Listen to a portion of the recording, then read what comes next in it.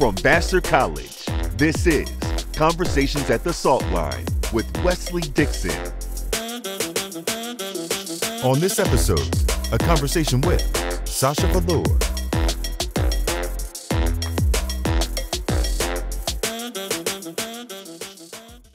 Hello, everyone. It's me, Wes, and you are here on another episode of Conversations at the Salt Line. I am so happy and so honored to welcome back to Vassar one of our own, Vassar alum, class of 2009, drag international superstar, artist in many ways, author, producer, all of that and above. And of course, the winner of season nine of RuPaul's Drag Race, Sasha Velour. Thank Thanks you. for being here. Thank you so much for having me. It's an honor to be here, and I'm so glad to be speaking with you, Wes. Thank you, Sasha. Well, as people who are listening probably don't know, you were back on campus last night for um, the the stop on your tour of your for your new book, The Big Reveal, uh, and there were some performances that went along with it. How do you feel being back on Vassar's campus, and what was last night like for you? It was amazing. It felt like, it kind of felt like putting together some random show here on the campus, like I did many times. We had the performances from VC Royalty, which is like the Vassar drag collective, Yeah. and that that was the highlight for me. Actually, it's hard to distinguish between that and getting to perform with Amanda and do like drag together with Professor Culp, rather, my classmate Amanda. Um, and we act, we I developed a number for this tour with Amanda, especially for last night. So and then I was like, oh, that's a good idea. We got to do that at every stop. But it was super super special. That's so cool. In particular, you mentioned VC Royalty, which for those who are listening and, and don't know Vassar, is sort of an on-campus um, drag troupe. Would that the right word to say troupe? Yeah. Okay, cool. Um, how does it feel to sort of see the development of like sort of an institutional, like lowercase i, but sort of like a permanent, sort of Right. organized group of students who are dedicated to practicing, learning, celebrating an art form that is like I'm so special and important to you? It's amazing. There was like rumblings of drag when I was at Vassar, but nothing organized. Yeah, it was like there'd be a, a drag pop up um, at some other event, like a drag host. But it makes sense because I feel like there's been a shift in in the last 15 years that students, young people know about these queer legacies and are trying to take part in that with no fear, with just excitement and creative ideas. It's it's gorgeous. You talk about this a lot in the book, and we'll get into it more. But I think I, mean, I, I would hypothesize that maybe what's happening alongside what you're saying, which is sort of this increased knowledge of the history, is they feel they can access it more, they can participate more without any sort of feelings of boundaries or Yeah. sort of expectations of having to have done A, B, and C before I can be Right. in drag. Right? Do you think that's probably what's happening, not just on our campus, but in the world at large? Relative? Yeah. I think like drag is kind of a rare art form where you can rise to the top with just ideas and determination. You don't have to pass through these any specific journey. Maybe that's the advantage of it not being a very inst- large eye institutionalized art form is that there's like literally no rules. So we just are looking for we're all looking for people that are inspiring and that can come from anywhere. Great. Yeah. I love that. So let's talk about the book a little bit. Um, I found it incredible to read you know, for, for a variety of reasons. Thank you. The first reason why was because I loved sort of how you brought in your training as a cartoonist sort of in the beginning and at the end, But It was so fun to sort of open the book and say like, where are the pages? Like, where are the words? Like, we just sort of dive into what like I love it. presented me at the front. But the stories that you told through the whole book, but in particular, sort of the cartoons at the beginning, were so interesting to me. Sort of, can you speak about how you chose to sort of bookend this book with that form of art, um, and why it was important for you to do it that way?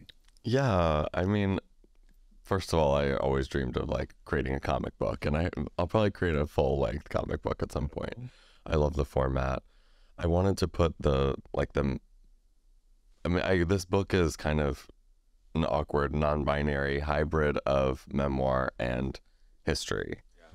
So, it's I tried to put both of those genres into drag since it's about drag. Mm-hmm. And I felt like the imagery, a camp storyline of like the first comic is is really about like utter disaster in the life of a drag artist, the kind I've experienced and many others have, and then taken beyond like my own experiences into fantasy, like drag loves to do.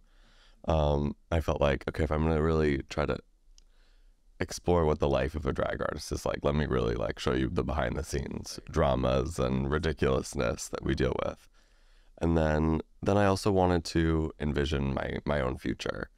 And the end is like a imagination of me as a as a grandma drag queen, which I feel like is the since it was my grandmas who introduced me to drag and I see the way generations of queer people have passed on these traditions as oral history and as rumor and kind of counter different versions of history than people might have experienced in in schools like this.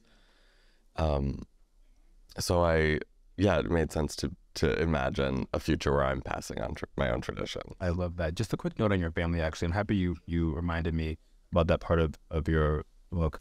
I was so um, in touch, whatever other words you want to describe or use, um, at sort of how your family was so integral um, to your life and how supportive um, they seem to be from what I've read Yeah. of all of your different life experiences. Of course, um, Grandma Dina, like everyone was just so fun to read about. Um, and I'm just curious, sort of how you reflect or understand um, coming into drag, sort of full fledged, if I would describe it that way, um, but from a place of like positive affirmations from an early age Right. family, and how that might compare and contrast to many of your peers, colleagues, sisters, brothers in drag definitely don't always have the same sort of point of entry or, or jumping off into Yes. experience. Like, how do you think about that? Um, both to your experience and to those you It's so interesting because I do feel like the most common story is about really experiencing pushback from families. But I have found a lot of a lot of people who are able to continue taking part in queer culture did have some level of support in their family.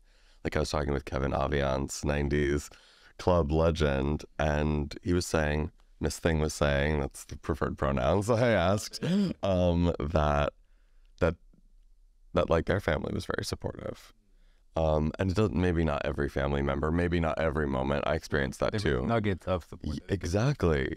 And I think that's actually essential to building a happy life for yourself. So maybe a little bit of support from someone in the family is necessary, which is why I think we're so concerned about young people of the next generation having access to at least some voices that say, you are normal. In fact, you look fabulous in that. Like, keep going, keep twirling, keep being yourself. wonderful. And of course, it goes without saying that family is sort of defined differently than people might think about it traditionally. Right. And sort of the nugget of family you can find that can be the building block doesn't have to be sort of a biological. Exactly. It could be Anybody. It could be chosen. It could be a friend, right? But I think to your point, finding that space where you sort of know you're affirmed, regardless of where it comes It's from, essential. the essential. Yeah, Right. exactly.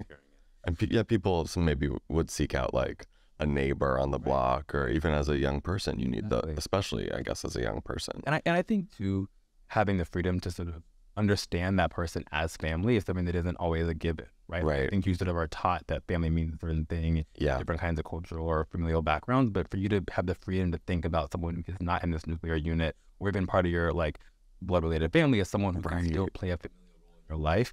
Um, I think is not always something that people are afforded. So I think it's a cool thing to sort of note that that is a place you can look, yeah. sort of ask for affirmation from. That you can you you get to Yeah. make that yourself, and you know what kind of feeling family Exactly. should give you. I love that. Um, and it should challenge you too. Yeah. Like I, I describe in the book like how my parents were very shady to me. I feel like I learned shade best from my parents, like these academics who it came from love, but they would they were full of judgment and opinion and that like pushed and challenged me in good ways. Beautiful ways. Yeah. So one of the things that I was so excited to sort of talk about with you um, is sort of this breaking of um, binaries and breaking of barriers. Um, in fact, it's so aligned with sort of the theme and the title of the podcast. Um, Comment is that the salt line. Do you happen to know what the salt line is? Should I explain? No, please. Okay. Yeah. The salt line um, is not specific to Poughkeepsie, the Hudson River, but it happens here as well. The salt line sort of describes an ecologic phenomena where salt water meets fresh water.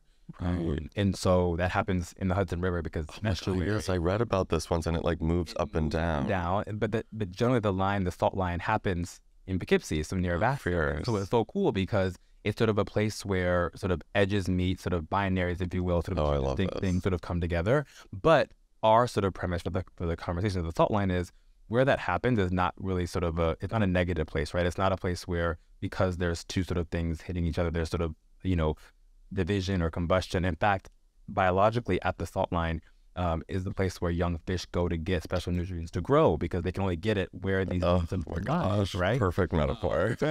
wonderful, right? Yeah. And so um, we think about that as the students experience here at Vassar. We want them to think about it as their life, where they're sort of always seeking to find where sort of differences collide, but they can Mhm. build positive things from that. Yeah. And so, of course, reading the book, I was like, oh my goodness, like all this conversation about like breaking binaries and sort of existing in the intentional sort of spot either in between them or outside of them is so what we're trying to bring to light here Right. at Vassar generally, but also at this podcast. And so I was reading, I was like, oh my God, this is so incredible, so incredible. And at the same time, I was curious, like, you know, how do then people actually learn to live sort of in that space, right? It's Mhm. sort of really easy and comfortable to say, I'm going to live in the binary. People don't want, they don't choose them because they necessarily want to. It's just sort of an easy place to live your life, right? It's clear, it's discreet, it's sort of very Mhm. obvious. Um, and it's not always a natural instinct to want to exist at the place that is gray or a gradient or sort of not as bounded, right? And Mm. so for folks in drag, it seems like that's really sort of a fun and natural place to build from, right? Yeah. But for folks who are trying to learn from drag how to apply this sort of way of breaking binaries in a non-drag context in their life, Right. how do they how do they do that? How do they sort of exist in that Mm. space outside of the art form?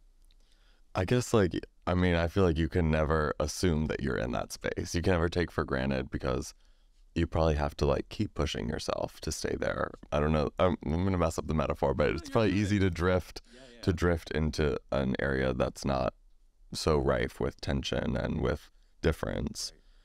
So, like it, purposefully exposing yourself to people from older and younger generations to hear like how they're thinking, how they might push you, um, questioning yourself. I'm a big fan of constant self critique, but as like a way of exploration of things that might be overlooked.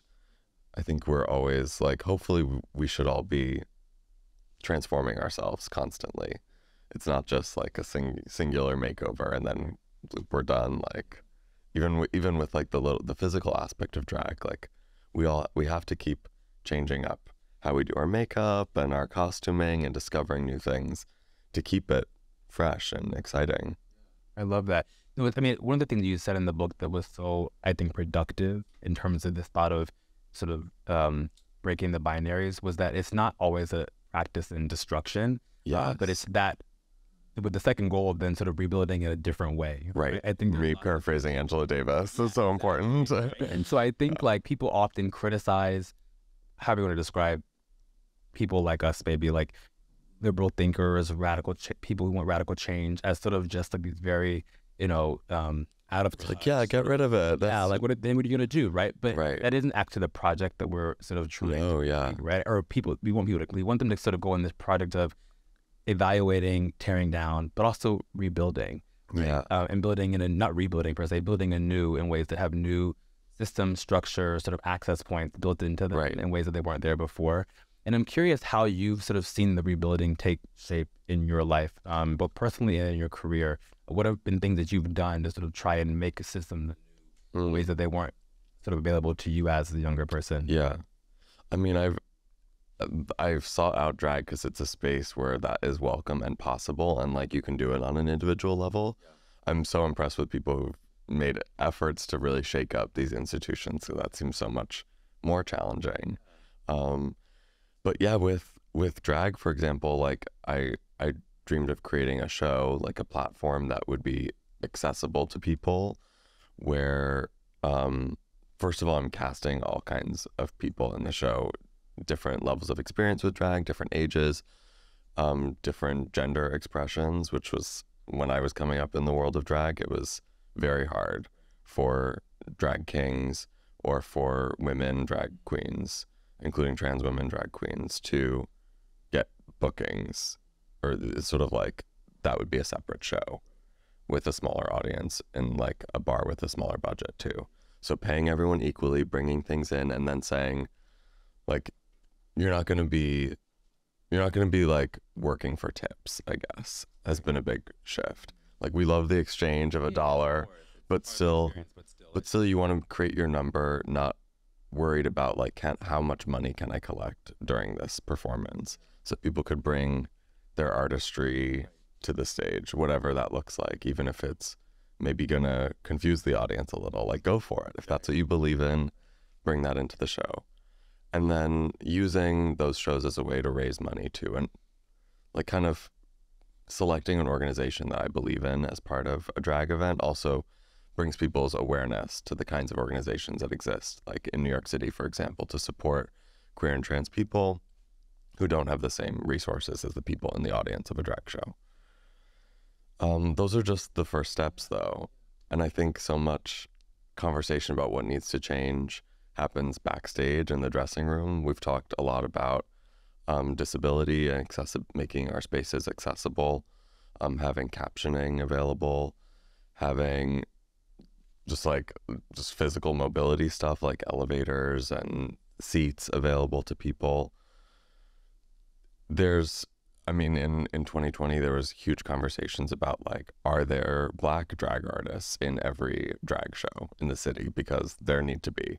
Um, and I think all of these moments have shaken up the the content and the collaborators in all of the drag bars in the city, and the ones that haven't shaken up are like dying out. Thankfully, um, I think that's so exciting. It is super exciting. If every institution could work the way our these traditional drag shows have, I think the the changeover of ideas, the way conversation evolves, would move much faster. Because suddenly I'm seeing a generation of drag that is really respectful and accepting of different styles.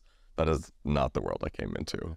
I like I somehow I like describing drag very idealistically, but the truth is it was t- full of gatekeeping when I came into it. Just like it was also open and uncontrolled enough that we could like create an alternate space. And thankfully, those alternatives have become more popular than the old-fashioned ones. Gosh, what some some of what you said makes me think that the reason why drag can be so responsive to questioning, sort of the, the well-intentioned needling and the pushing for a better future, is because sort of at its core, it does celebrate the chaos that comes with drag, right? It sort of Yeah. celebrates the chaos in performance, the chaos in the individual performer's life, um, if you will, to in a way that makes it really easy to say like you don't have to have anything be perfect or buttoned up or tidy. We can sort of work our way through. We can build the plane as we fly it Right. in the realest sense to get to a better place at a quicker, sort of more inclusive way, Right. uh, which I love. It, hearing so you true. describe that has been such a helpful thing for me to think about. Again, not only for drag but for other things Right. as well. Um, Just when people are afraid of Right. of like saying, "I don't know how to solve this, but we let's try together." like being perfect is the enemy of being good, right? It- Like it's sort very, of that, that, very like, true. uh, Yeah. inhibit progress. So I love that, and it was a helpful thing for me to have you teach me vis-a-vis the book. At the same time, I was so curious because drag, like everything, is sort of, um, you know, susceptible uh, to lots of other external forces, worldly Yeah. forces, right? And so there are. You watch the show, you watch RuPaul's Drag Race. There are sort of um, moments where drag is, you know, you're being evaluated, you're being very, you're being critiqued, Mhm. sort of saying things are cheap or they're not good or Right. things like that, right? And so there's a moment where the chaos isn't exactly celebrated because Mhm. it's sort of said to be lesser than, greater than, good, bad, in ways that, in a pure sense, drag wouldn't really want us to do. Yeah. assuming. And so how do you how do you reckon with that? How do you sort of sit with these competing feelings or competing forces that influence how we um, understand or experience drag? I think I think it's like a factor of of mainstream drag. Obviously, it's, I think it's probably happening on all levels, but it's so easy to internalize the inequalities of the world and bring that to our space to say like, oh, oh, we want expensive looking drag, we want like youthful, skinny, model esque drag, um, but of course, like that's not Everything. that's not everything. This should be a space where that's not controlling all these everything. So I think like like watching Drag Race, for example. I think Drag Race like sometimes it gets it wrong, and then it kind of like moves back to celebrating people who make their own costumes, to people who come from different backgrounds, to older drag artists. Like like Sasha Colby is not a young queen, but she is still like at the cutting edge of the art form. So to have her win the recent season, and I got I've gotten to work with her a lot through nightgowns. Um. So yeah, I think it's it's an evolving it's an evolving system, and the way that the community pushes back against the most successful forms of drag kind of holds them accountable. like a self. It's like a like a, it's like an immune. It's like a built. It's a built-in sort of system to sort of keep it in check, right? You Yeah. like know that you can sort of expand and grow, but there's something inherent to who you are that'll keep you from going off the rails too much. Right. Find the right analogy for that, but you know what I mean. Totally. Which is a cool thing to have built into to It's a combination of like act directly criticizing these platforms and saying saying for example like okay this this judgment of these drag artists is, is like there's elements of racism in it or there's elements of kind of class prejudice. Like that's said directly sometimes and i think that is necessary. But then also building alternatives so that you can model the kind of like competitive aspect of it. It's like okay well i'm going to go create a better drag show right. and then you'll see Also more inclusive. that's more inclusive where we show like the artistry of like quote unquote cheap cheap drag or cheap art where everything's just kind of made thrown together Exactly. um and, and it's kind of if you can create something that's undeniably more entertaining more exciting right. Then the institutions will always move in that direction Capitalism still works. exactly oh god i hate that it's that Sorry to say the wet blanket, but, but but I think sort of I say that statement in jest, although I, I do mean it. But I think the effect of that though is that you still sort of have a product and an experience that does celebrate and amplify different kinds of experiences and voices in ways that it wasn't before. yeah The pathway might be questionable, but how it happened and the, the sort of the effect of that, I think, is still one that we can celebrate. We're excited. perhaps we try to like make the tickets more available less instead of like i've got the best show i'm going to make my tickets more expensive Yes, it's the opposite move and that's kind of like a that. It's like uh, uh, what's the brand?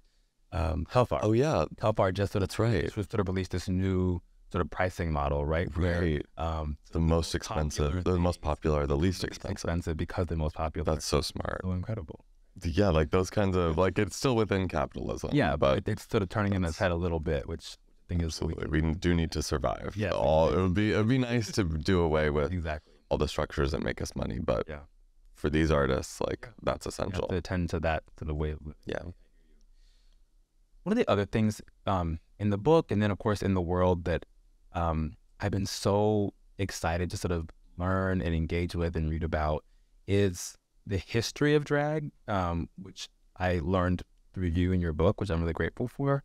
Um, but also in particular, sort of the the healing history of drag and sort of Right. where drag comes from, or where we where we where people credit it as coming from, um, as being sort of a as being a healing practice, sort of Yeah. millennia in sort of centuries Right. ago. It's so um, which I think is incredible. So tell me about the process of learning that yourself, whether it was through the research for this book Yeah. taking place at a bar, a library, whatever. but when you found that out yourself, sort of what did that mean to you, and how did that reshape how you understood um, drag as an art, and then drag as a part of your life? It was something that I would hear referenced and was like, I don't, I don't really know if that's true or not. But that drag was in the tradition of spiritual healers who dressed up in indigenous societies around the world, who changed gender, who went between human and animal through ritual performances, and brought good luck and healing to their communities, to people who were sick, to people who were grieving, and I was like, that's, I mean, that makes sense because I do feel like that's kind of what we do. It's we play with emotion and gesture and a drum beat and try to make people feel joy, feel strength, um, cope with sadness or trauma or whatever. So then doing this research, um, a lot of it I found through Leslie Feinberg's research, um, which was done in the 90s, I guess, that directly kind of traced queer legacies and trans legacies um, all around the world in pre-colonial societies. And discovering and then like i went further and did some other primary source research to really be like is this are we putting too much on this? I think that's still a question. How do you read the gender and sexual identities of people from the past whose lives are barely described and also described by very hostile voices sometimes? Um, but it seems like at least we know they were using clothes gesture accessories to transform gender and go between gender, live between gender sometimes, bec- with an idea that fluidity is healing for everyone. So if you become a performer of fluidity, especially with like this most essential difference of sex and gender, you have access to a plane that is a healthier one that can help people. Um, and also embodying ideas is can be very instructive to see how something how like a myth or a story plays out um, in someone's body. It helps. It gives you a new perspective on it. Certainly, and sort of the the the true and disappointing part about the history of drag like at least for me, like many other histories of progress and excitement, is sort of coupled with sort of regression, right? We Yeah. see this in American history in a whole bunch of other ways, right? Outside of sexual orientation and gender expression, um, we see it with race in lots of ways. Right. Reconstruction, I'm thinking of the civil rights era, where we sort of see moments of Yeah. dark gray progress, um, and then we sort of see really stark regression in lots of ways Yep. too. And and I don't think drag, as you've sort of written about, is is sort of um, you know divorced from that history either, right? Yeah. Sort of ways in which, um, as you mentioned in 17th and 18th century Europe, drag was sort of criminalized in ways that it, it maybe wasn't before. Right. Um, and you know, history is sort of a cyclical thing, as we know, it's always really living. So how do we sort of allow that history to help us forward um, for it? Yeah, the, the tough question that is so so essential to answer. Maybe there's hope to be found in just knowing that things are a cycle. That this doesn't the change backwards is only a sign of how far people have already come, and that the change in people's minds that have allowed so much more visibility and acceptance for queer and trans people in everyday life, like that that won't go anywhere but we still may be living under laws that restrict people's freedoms. I guess we can draw on strategies that worked in the past, even in the 20th century. Like, it was really the 60s and activism in the 60s that broke up two, three decades of like a reinvigoration of laws against against queer and trans expression after like the 1920s the the pansy craze uh, like of the cities that had um, that had like the gay parties were the nightlife destination for all people in the city. Like we in basically queer people have invented the nightclub over and over again. First in the twenties, then again in the eighties and nineties, and times where, um, and in times where people weren't always like, accepting of queerness in real life. But I think it was it was loud revolutionary voices that pushed back against the laws. Um, it seems like the the early gay activists. This is my interpretation. Yeah. People might disagree with me, but some of the some of the early gay activists that were trying to change the laws did not get much headway. It was people causing chaos and being loud and interrupting events and being emotional, like the drag queens, like Sylvia Rivera, who got up on the stage in the 70s Pride March after they had tried to silence drag artists for fears of it being misogynistic, pushback from early trans exclusionary lesbian activists who said drag is anti feminist. She got on the stage and said, like, our community is in jail for dressing and expressing ourselves the way we are. How dare you ignore these needs in favor of respectability politics for some and ignore the community as a whole? And that, like, I think those actions, those are the ones we remember the best, actually. So I- think we have to be disruptive. I agree 100% and sort of you illuminating this history again sort of in this conversation i think is reminding me um you said which i agree with which is the importance of maintaining sort of these informal spaces where these histories of stories can be told Right. where folks are sort of my gosh like this was how people like did certain things right like i read about it x and y way but actually it might have been a and b way that things really happened and the Right. history is really helping that is a way that i can sort of think about my activism, my hope for change, it en- it empowers people to sort of feel like they can do something, right? Right. That's so true. Incredibly, such a helpful thing to sort of have in your mind, um, because we often don't have time for these kind. We don't make time for these kinds of conversations, right? Or we go to certain places for knowledge or for resources, um, but it may not actually be what we need. what we want. Yeah. Um, and so having this is really special. So thank you for that. Um, putting a sort of finer point though in regards to today, which of course is not news to you or me, but maybe news to people listening. Um, you know, America's in a difficult spot, right? Um, in a whole host of ways, but not the least of which is thinking about how at the state level, um, gender expression, um, drag as an art form is being attacked. I think Mm. um, the most recent number might be there's been two bills upward of that in, Yeah. in the past few months that have been explicitly or implicitly Anti-trans. attacking trans people, drag as an art form. I heard there's like over 400. Oh, see, Yeah, uh, anti I, like facing. I don't. That may be Yeah. in, no, in effect already. One is enough, but Right. 400 is Yeah. horrible. Um, sad, right? I mean, I just saw. Liz- I, well, I'm happy that Lizzo I saw performed in Tennessee. Yeah. That's one of these incredible. anti-trans bills recently, but she performed last week and sort of brought drag performers on stage with her, sort of in a sort of a you know a I love F you um, to this state. Um, but you know that's one thing, but it's still hostile in many other ways, right? And Yeah. I'm from Florida, so Wow. um, I see the news all the time. I read about it daily. Um, Yeah. But what do you say? What would you say to someone like Ron DeSantis, right?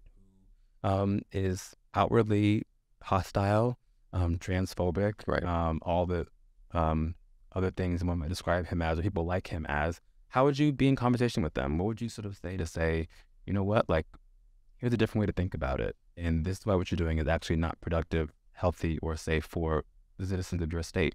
How would you Right. just that conversation? Oof. oh, I'd be angry. You know, I'm not going to get there right now. Um, I think, I mean, I think what's clear to us is that he's playing. This is all playing off of people's fears who don't have information about what, about anything about like what trans people really experience, what trans medical care even looks like, um, and it's purposefully playing off of these fears to distract from what his actual job is, which is making laws that affect everyone. This is a small group of the population that needs freedoms. So misrepresenting us to try to rile up the base is not uh, acceptable. And unfortunately, I hope it won't keep working for them. But it, it does seem to be. There's enough people who care about these Christian moral issues, I guess, that they're willing to vote on it like I guess that's been the case, unfortunately, for the Republican Party for a long time. In my experience, is that it's about like Christian morality and like wishing to live in a, some kind of like totalitarian religious country rather than one that works towards giving people more freedoms.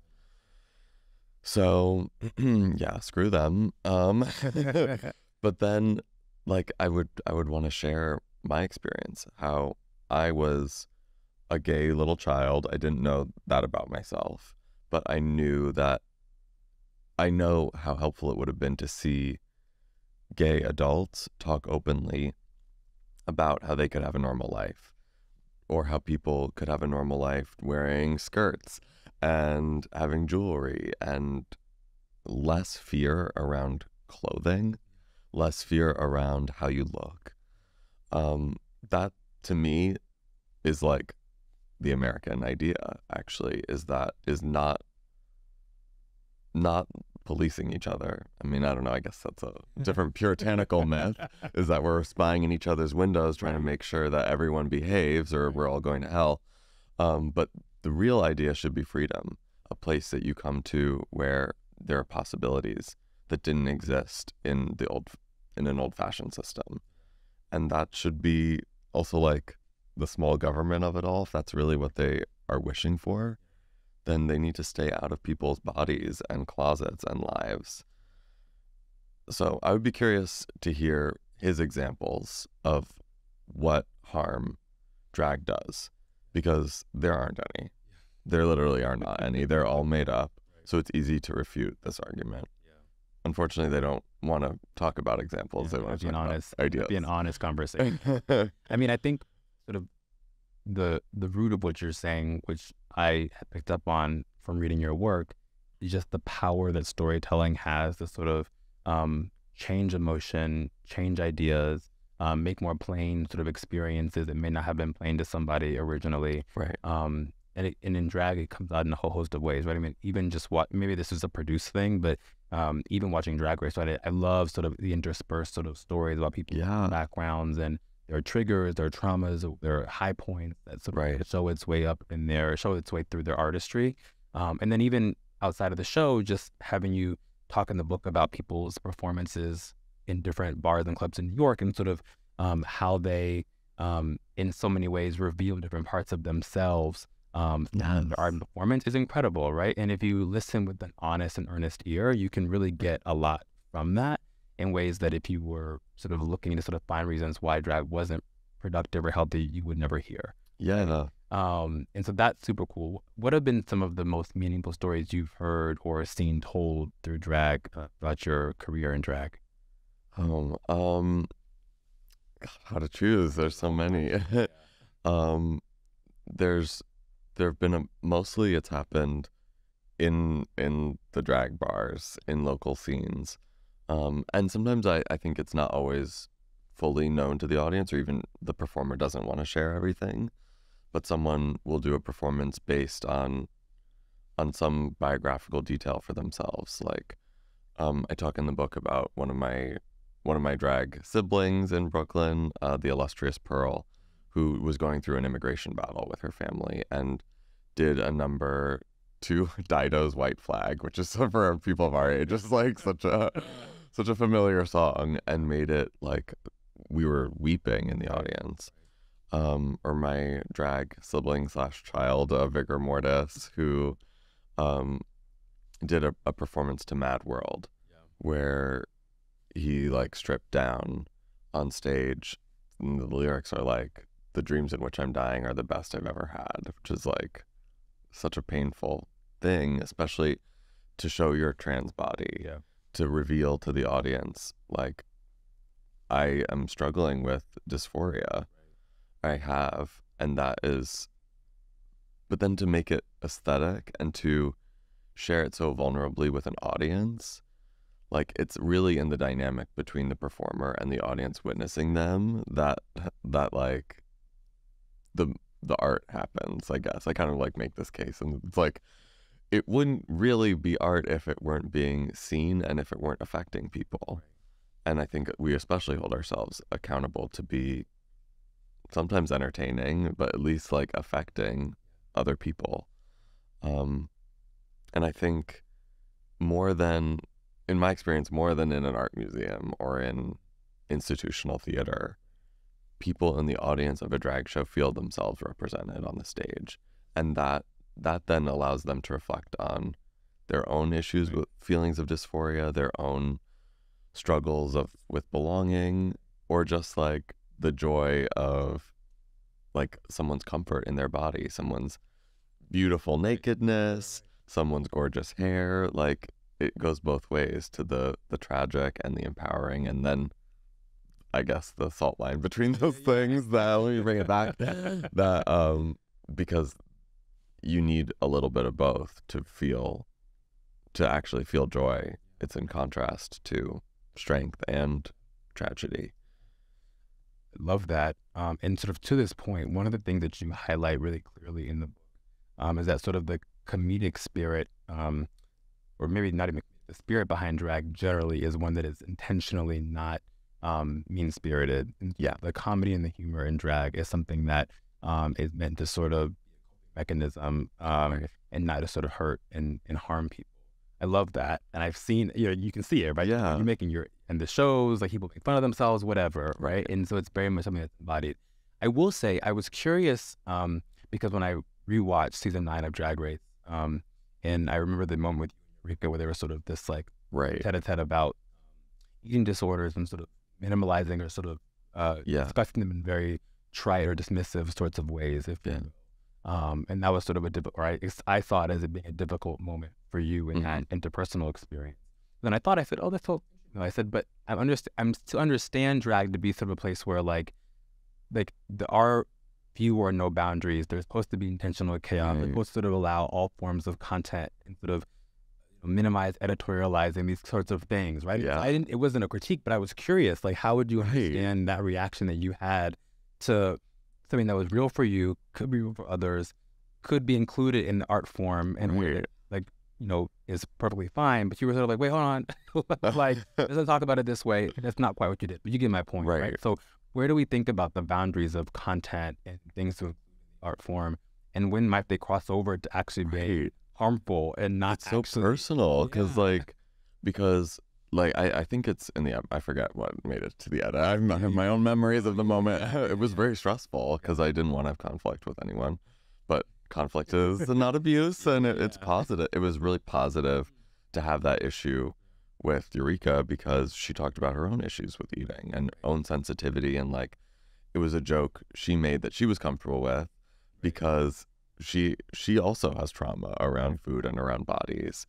Um so I guess it was just an issue where our value of like what is safe to joke about or what's what's a good joke is came up against each other. And I like that's that's where the conflict happens in the drag community is we don't always have the same ideas about what are safe or things to be allowed in the scene, what kinds of humor really are funny. I think we all try to be held to a standard of like if you're going to joke about something sensitive, it needs to be like a good joke. Yeah, And I think it's mostly when things go awry, it's not even a good joke. yeah, Um maybe like what's the kind of joke that someone who's really experienced the thing you're talking about would make. would appreciate, right? And in that case, I don't think it, it, it satisfies as someone who had for many years, including in, in this space in Vassar, like dealt with really disordered eating and a lot of feedback from other people about it that is ingrained. Like it wasn't a funny joke. Right. So but there but we should try to find funny jokes about the most painful things that we've experienced and then we should share them so that other people can can tell them. I love that. Well, what you what you said earlier really struck a chord with me, which was sort of conflict is not abuse. Right. Um, I had not heard that before, but I'm going to keep it with me because I think it's a very helpful way to um, reframe conflict in a Yeah. positive way. Um, much like sort of the goal of the salt line is, right? That conflict can be something that you welcome, sort of with maybe some guardrails around it, with the spirit of making something from that conflict, right? Or Right. at least being able to follow the conflict up with conversation, learning, illuminating, translating. I know this Yes. um, so that there can be something from it, right? Right. Um, because uh, I think it'd be naive to sort of think that without conflict that Right. But I think the key is in harnessing the conflict to make something positive. And Yeah. certainly on the show in this incident, you all did that, and I'm sure it happens outside of the show in many other ways, Yeah. drag outside of drag. But I think that's a very helpful framework about moments Right. uncomfortable. Um, that doesn't have to be a bad thing, and actually, you might want to try to find more uncomfortable Yeah. moments, right? So we can learn and grow from. I think like if you're not having conflict, you're not talking about anything. Yeah. It's important. Yeah. So it doesn't like the joy that we're looking for comes out of conflict as well. I, one of the things you've said in our conversation here, but you say it in the book, and I resonate with it so much, is sort of um, how much learning, um, and we said it earlier, but storytelling, learning, sort of idea sharing takes place in the non-formal spaces, um, the non-formal Yes. educational spaces. Right. Um, I'm thinking bars and and other clubs, whatever. And I can think to this moment, there's like so many poignant memories of bar, me being at gay bars in Fort Lauderdale, and just like having the most Yes. amazing conversations with people who are there who grew up through all kinds of different you know experiences lives whatever right? And it's so like fun to to be a part of that with them. um and at the same time i'm curious for you like you grew up in a family that really was like steeped in formal education right? Your dad was a Yeah. professor he probably still is. Um you sort of grew up in that sort of way. And so how do you um think about those things together and what does it really mean for work in higher education how do we how do we think about our work if Right. if we know in many ways people learn and experience so much outside of the four walls that we sort of create for them. Sort of what's the value that, that we have being selfish? what's the value of a place like Vassar? No, it's so um, important. Given sort of what we know to be true, which is that folks learn from a lot of other kinds of places.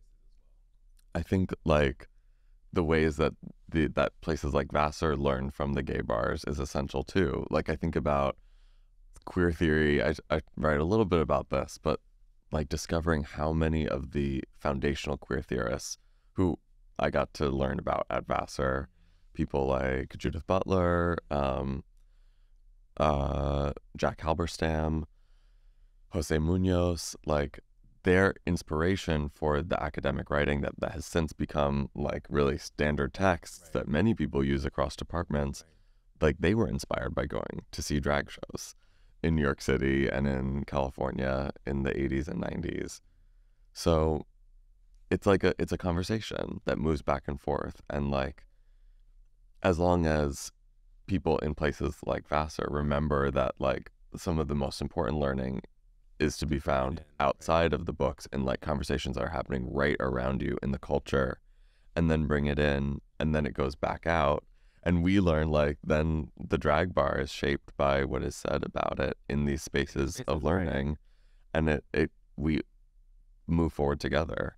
So i think that's that's the dream.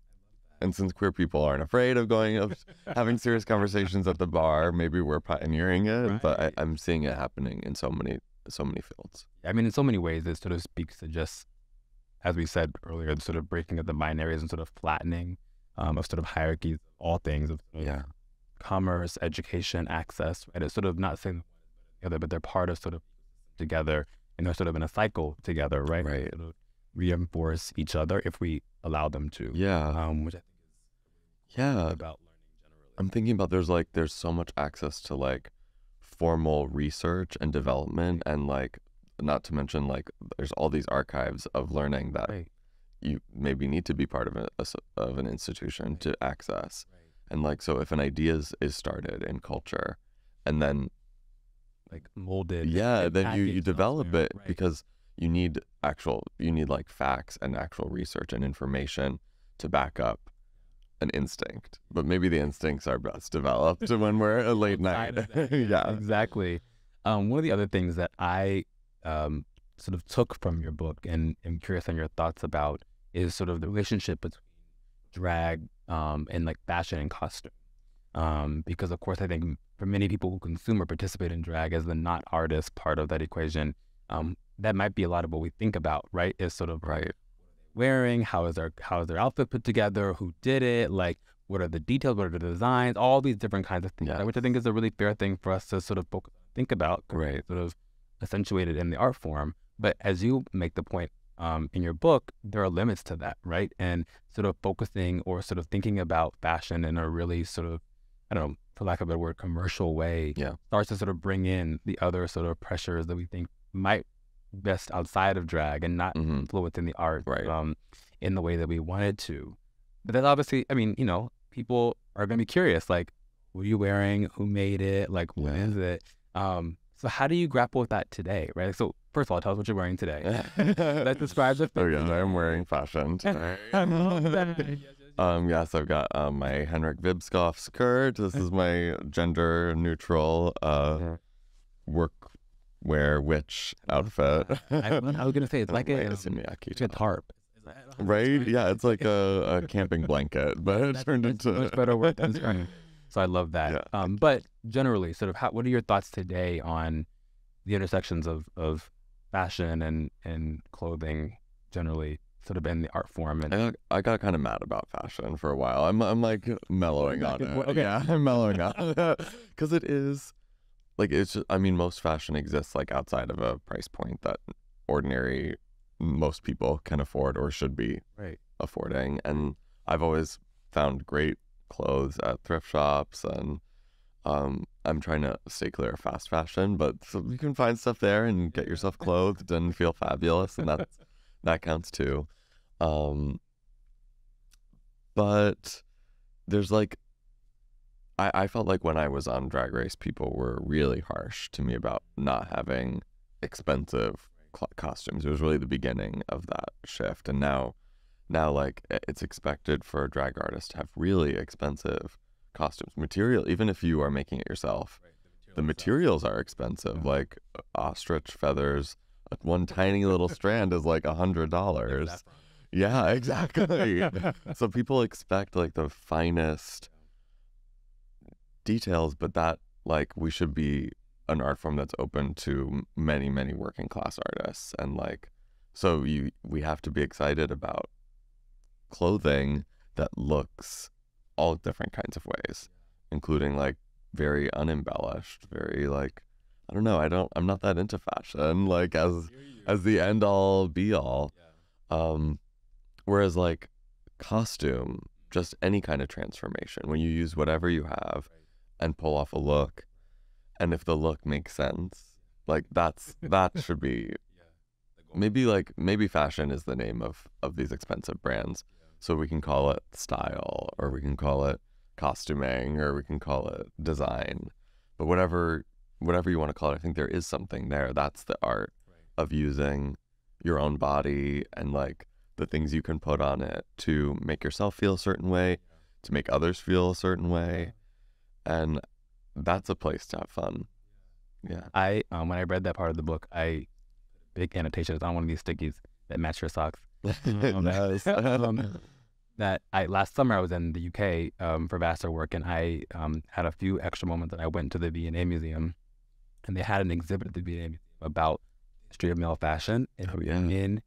incredible. Oh, my goodness, I must have spent probably two and a half hours there. It started. I started maybe I don't know. Let's call it like 17th century male fashion. But to the point that you sort of make in the book, it's so sort of fun to see male fashion have transformed over so many um, sort of centuries. And the truth is, the fashions that they highlighted that were common male fashions. I'm going to get the dates wrong, but let's just say early in that time span, right? Let's say 18th century, Right. were definitely things we'd call drag today. 100%, Yes. right? It's like heels and- heels, all kinds of bright Yeah. colors, skirts, like Right. all kinds of cool things, right? And so, um, just sort of be reminded that you know we're existing in sort of a way that is not new, has been part of our Yeah. cultural experience before, is a really affirming thing. It's sad that we've regressed back in the ways that we have, but it's cool to sort of see that Yes. fashion has been, I think, supportive of a world in which different genders can sort of be expressed in different kinds of ways, um, and that's accepted, right? It would Yeah.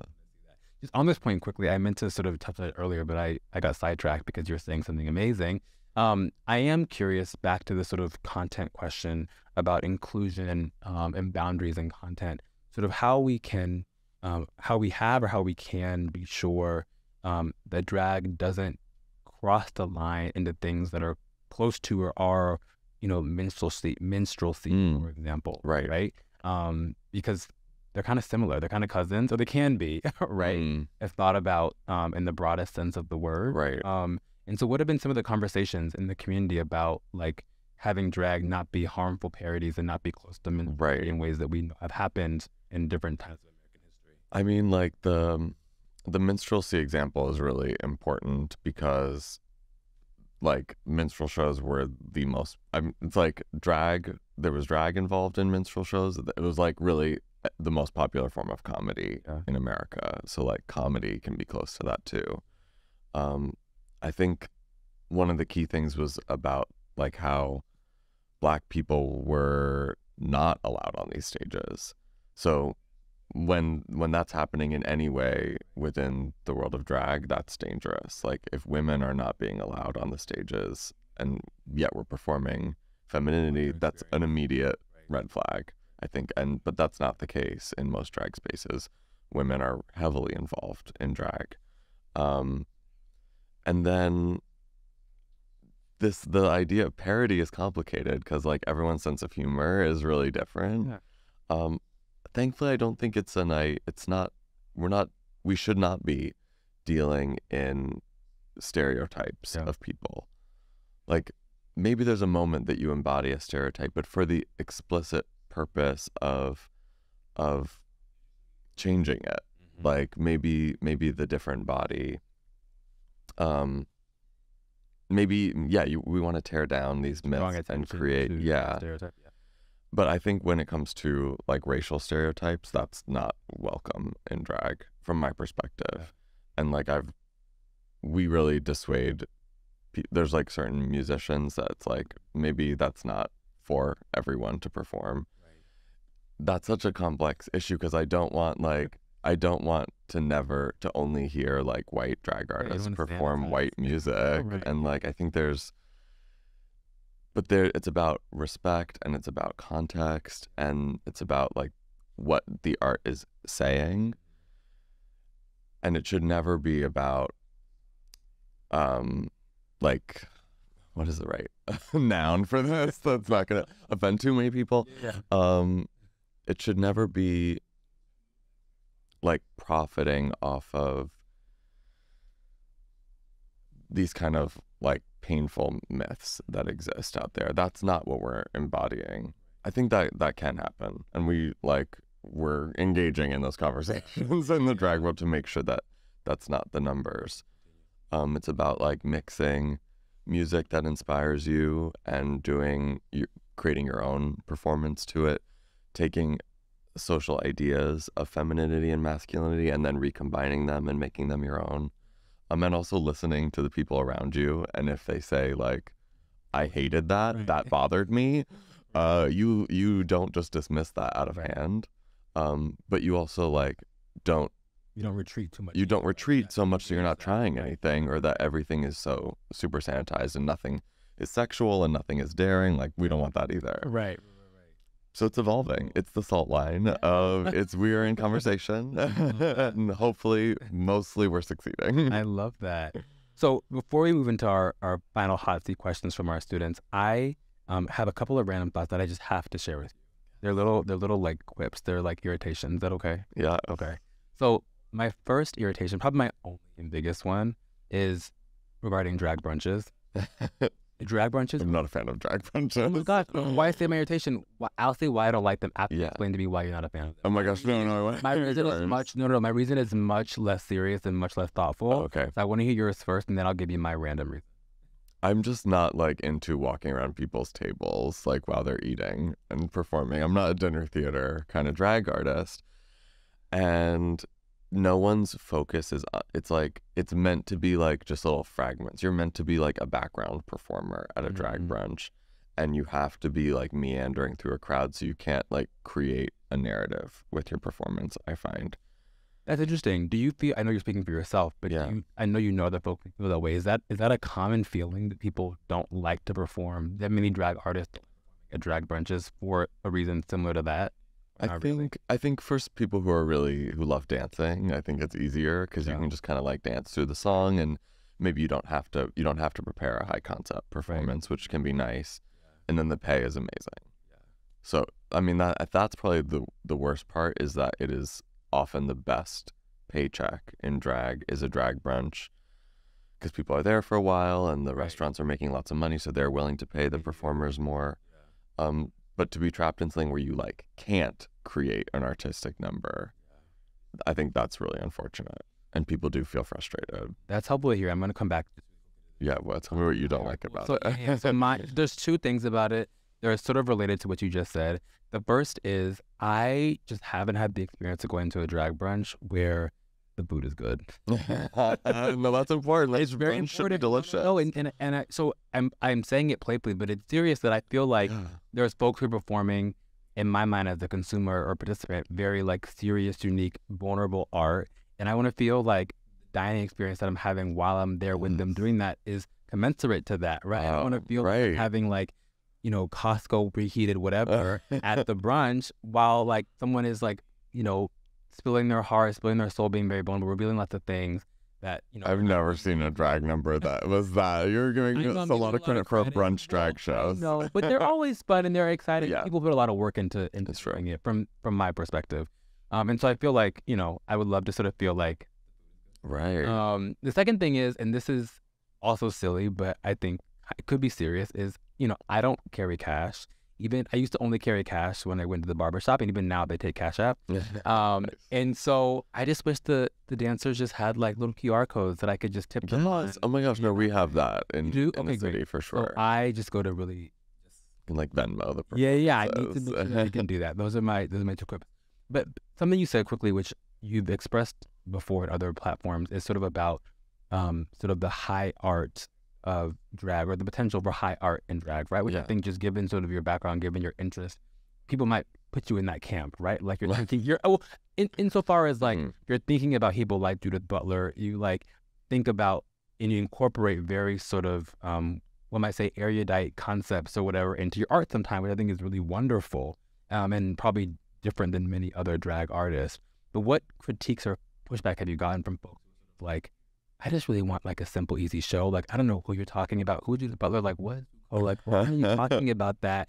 in this art form. What are you? What are those Yeah. conversations like? Um, in your Um, I think as long as I like am explaining it well and making it exciting and making it relevant, like And people are people are into it. Um, I think there's there's like definitely when it's reduced and taken out of context, like I, I think I've learned not to talk about those things on television. Uh, it- the people who get it are into it, yeah, but for a lot of people, yeah. I would argue most people, they're like actually very put off by an overly intellectual approach to anything in Yeah, the world. That's maybe just TV, pop culture, who knows? yeah. Um, but the ideas still inform my work, right. and I don't I don't want to have a divide between high Right. art and whatever low art. Right, Maybe if there is that divide, then I'm gonna create low art and make it infuse it with the things I love, which I guess I had a high art training. Um, but I think the low art around us embodies those ideas even better than most of the high Yeah. art that I see. So sounds. I'm gonna commit to the low art. Well, it sounds like our conversation about like bars and, and colleges and universities, right? Sort of Yeah. they're in relationship with each other, right? So it's not sort of a it is it's sort of a fake binary, so to speak, Right. right? Where like we don't have to think about them as separate or like Yeah. competing, right? They really do inform each other, um, and that comes in in art too. So they don't have to be. I always I laugh because you go to a gallery and the artist statements increasingly they're very referential philosophy and the high concepts. And then you go look at the art and you're like, well, I don't see that I don't see any of that there. Whereas you go to a drag show, we make no claims on Right. the microphone. I mean, I make a few claims, but it's not as extreme as people might imagine. Mostly we're like, we're here to have a good time Right. and like celebrate who's here. Yeah. And then like the most brilliant ideas get embodied. Yeah. So I think let's like use the terms less and like make sure The spirit the depth it. is Yes, there. Exactly. Love that. So my other random thing was um, I couldn't help but notice when I read the book there were so many references to um, different like cocktails and mixed drinks. I love a good cocktail and I love a good bar, as you've heard me say already. So um, I'm so curious uh, what your favorite sort of bar cocktail, what your go-to is at the bar, because you know it's a, it's a to that's where somebody is, what kind of liquor they are. Oh my gosh, I moved to a place where I just drank straight whiskey as Oh my like in drag and out of drag drink of choice. like I, I enjoy a martini or like a mixed drink too, but for some reason me and the other like legends, which means we're over 30. over 30, suddenly you're a legend. Um in drag. We're like we're drinking whiskey now. It's like a grown a grown man drink. exactly. right? Yes. I love that. We had all my like trans femme and women drag queens. It's like in a corner, sipping whiskey. I love that. I I'm a I'm a whiskey bourbon person too. Nice. Um, but also there can be gin days well too. I'm a Oh yes, gin is beautiful. tonic. Like it's very flowery, very light. Um, I do like work out a lot, but I'm I am oddly sensitive about like drinking too much sugar. So I'm oh, gin Nice, right? like low calorie. I can do that. Um, so I'm a am a gin boy. Okay. Go for a drink. Some yes, please. exactly. well, before we end, I have to ask these three questions from our students. Um, the first is, have you ever? What is that? My handwriting is atrocious. no, it's beautiful. Oh my gosh, I'm gonna Like, get back to that later. Let's go to the second one. The second one is, what is a? Oh yeah, what's a foolproof formula for creating a drag name for somebody? no foolproof. one, no. so like, what is the joke? Like childhood pet in the street you grew up on? You on. know what they say? I think I can't remember if that's a porn star name. I, or- I didn't want to say it. That's what I uh, thought it actually was. I mean, we all drag artists are often porn stars with more puns. if it's not a pun name, it's a porn star or a soap opera name. But yeah, I think okay, I think it's important that if you're gonna choose like a word as your dragon, which a lot of people do, you can't spell it too strangely because people say it on the microphone and then they'll never find you. And you also you need like something, a last name or something that makes you searchable. You definitely online. want two word drag names. Uh, I don't know. I do love like uh, I think yeah, a two-word drag name. You have to make sure that you are findable Okay. from your name alone. Got it. So there's also like drag names that everyone chooses. Oh, maybe like switch it up a Right, little right, so that you're not like one of 20 drag artists. Makes sense. I wish I had one that I could tell you that was my fantasy name. I don't have one Yeah, for yeah. myself. Um, but when I let when I figure it out, I'll let you, I'll let you know. Okay, I love uh, I read my handwriting in the Yes. interim. Um, it says from the student, have you ever wanted to abandon drag? Oh my gosh, all the time, unfortunately. it's like it can be kind of thankless and challenging.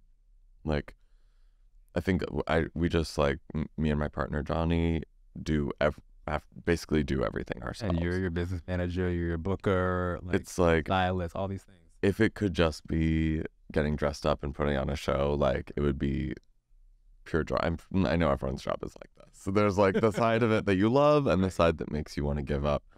But I think the, I mean, I, I, I can't really stop. I can't do anything else at this point. So I'm stuck not with true. it. It's not true. Oh my I just start all over again. No, Um, life is about recreation. I guess I guess it would be an exciting opportunity. If I did quit drag, it would be time for something else. So I'm open to that. But yeah, when when the impetus to give up is just like frustration or not not getting the recognition or response that you are dreaming of, like that's that's not the best reason. Quit because you you have something else in mind that you believe in more. and maybe you feel like you've finished, like Yeah. you've completed a task. Right. You feel full. That's right. I love that. Oh no, I'm still learning things. Course, as you should. yeah. Um, there's two more questions. One is, um, who is your favorite artist to lip sync to? As opposed to Oh. like a song. Yeah. And that's probably a more standard question, but like, I love that. like, what is the artist that you like to lip sync to?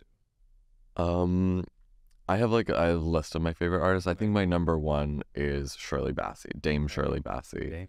Um, I love. I mean, I love that this is. She's like a singer that drag queens have been lip syncing to since the '60s, and she's still a legend and like a gay icon in the UK, especially. Um, but her voice is so dramatic and like just she and then when you watch videos of her performing her face is really really expressive Right. like arguably too expressive. She's like really quite, quite over the top.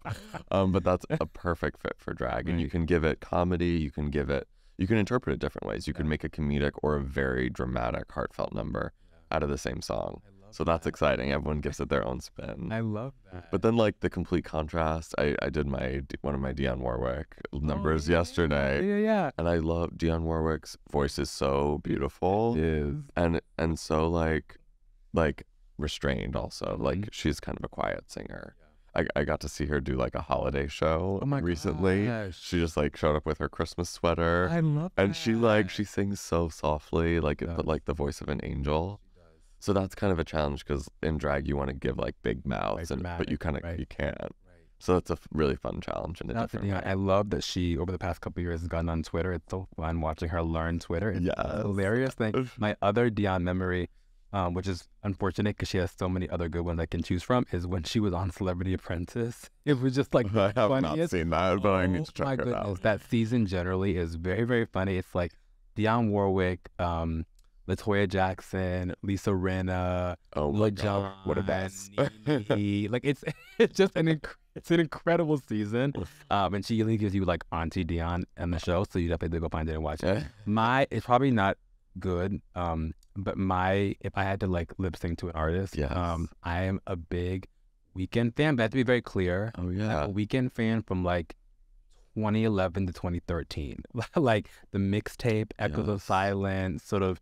Um, nice. you know, same old song, like that sort of Weeknd when he was underground, not dating all these people. like he was That's Weeknd who was like a melancholic Yes. crooner. I was like, yes, and that voice is. His voice incredible. Yeah, that'd be so. incredible.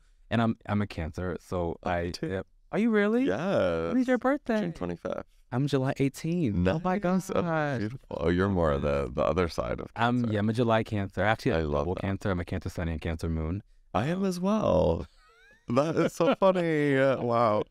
We'll talk about this more We avoided crying the No. entire time. I know. How do we do that? We'll talk about this more off, off the mic. Okay. oh my gosh. Um, and the last question before we wrap up is um, outside of sort of your home bars, so bars, let's say in Brooklyn. Yeah. What is like your either favorite or most underrated drag bar that you've been to um in the country? Oh, um, there's a I'm gonna mess the name up now, but there's a bar in in Indiana that I went to that reminded me so much of my the bar where I got my start in Brooklyn, which has now closed. Oh, Which I mean that happens. And my hometown bar in Champaign Urbana, Illinois, Book, yeah.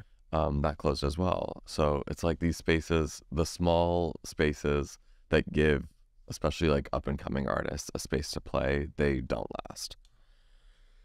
Uh, but this one in this lesbian run bar in Indiana is still there. Um, I'm uh, gosh, I'm forgetting the name though. It's like the the back room. It has like a really like back alley, Yeah, yeah, yeah. dark room. Yeah, exactly.